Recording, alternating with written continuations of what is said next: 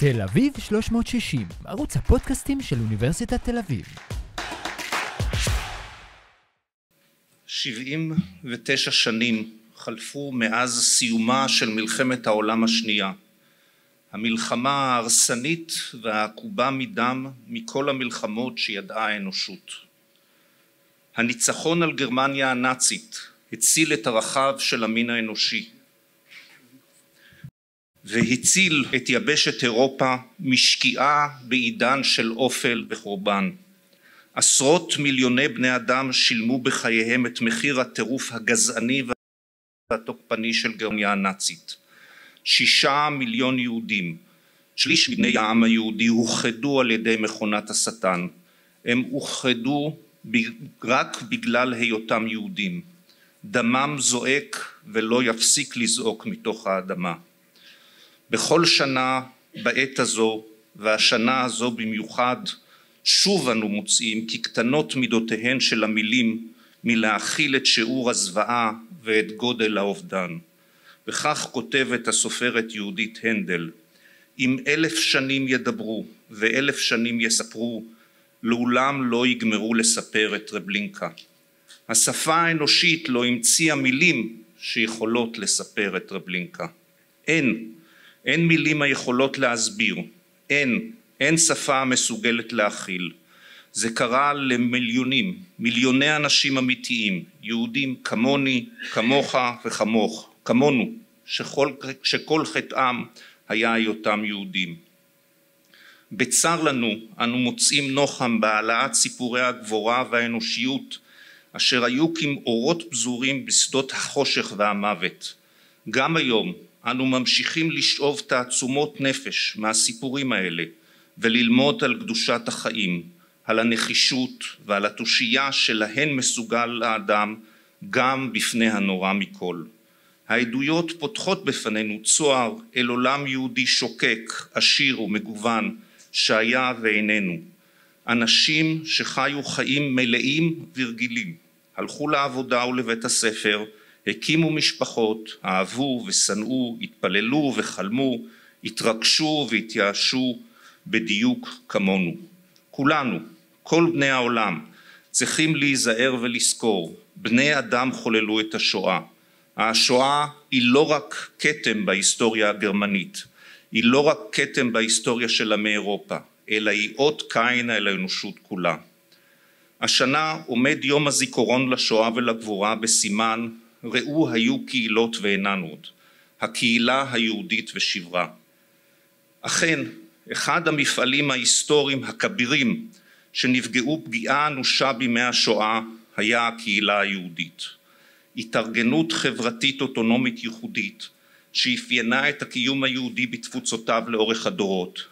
אלפי הקהילות היהודיות היו המסגרת הבסיסית והחשובה ביותר בחיי היהודים.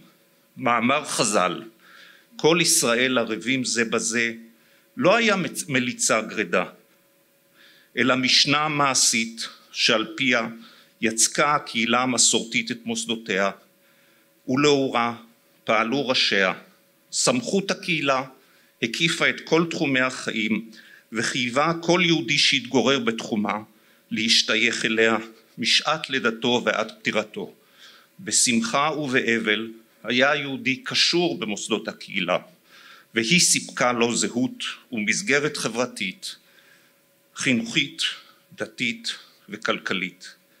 מסע הרצח הטוטלי של היהודים בגרמ... בידי גרמניה הנאצית העמיד חורבן גמור על אלפי קהילות בשטחי הכיבוש הגרמני ברחבי אירופה וצפון אפריקה. עם היהודים עצמם נמחקו גם הקהילות, רבות מהן נמחקו כליל.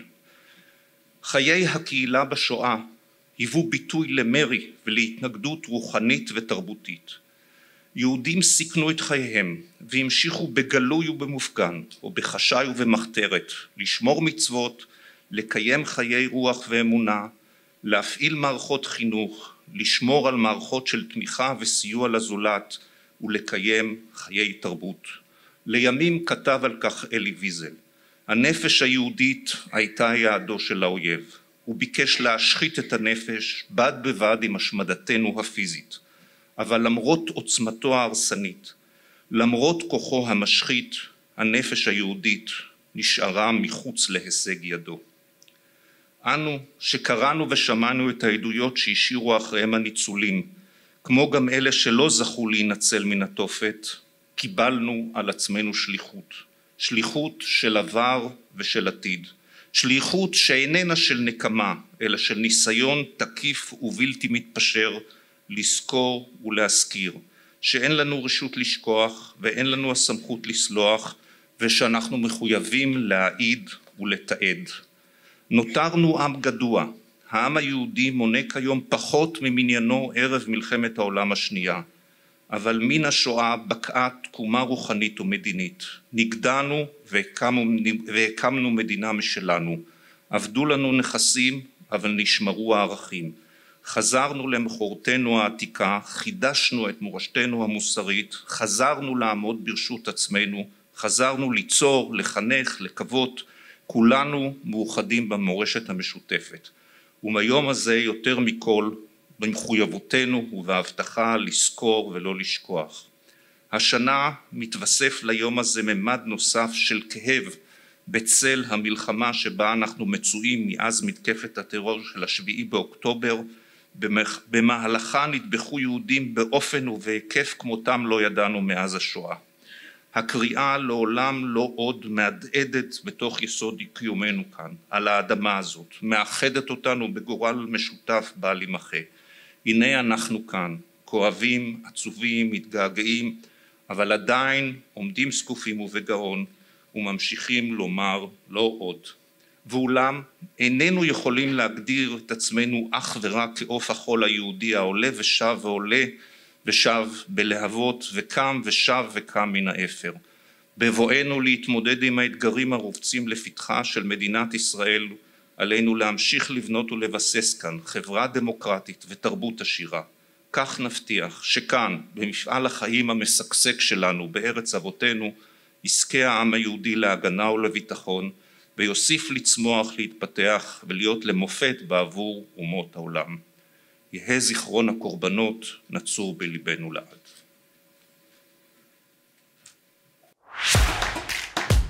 תל אביב 360, ערוץ הפודקאסטים של אוניברסיטת תל אביב.